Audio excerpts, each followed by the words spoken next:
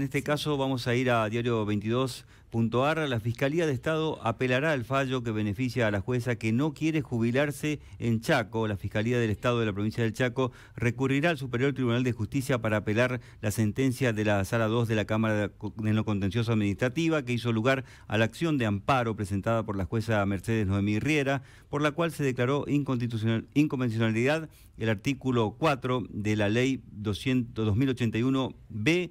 norma que reglamenta el artículo 154 de la Constitución Provincial y de dos resoluciones del Consejo de la Magistratura.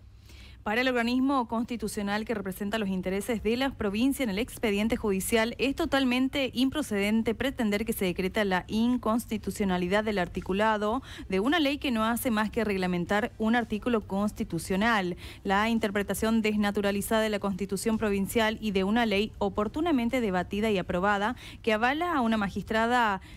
permanezca en el cargo sin un nuevo renombramiento después de los 70 años resulta inadmisible en un Estado democrático de derecho.